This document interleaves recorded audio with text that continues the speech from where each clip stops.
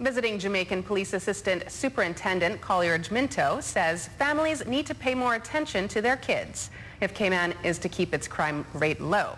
Mr. Minto was the keynote speaker at the Planning for Youth Success Conference last Friday. The Director of Security and Safety in Schools in Jamaica believes family issues can lead to crime and he's urging Cayman to take note of this. One of the things which came up in the discussion this morning was the family issues. A number of our students, our children, are exposed to violence at an early age.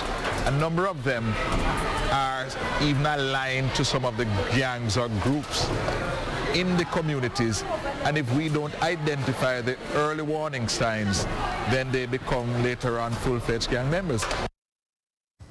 The conference was one of the events scheduled for Support Our Youth Month.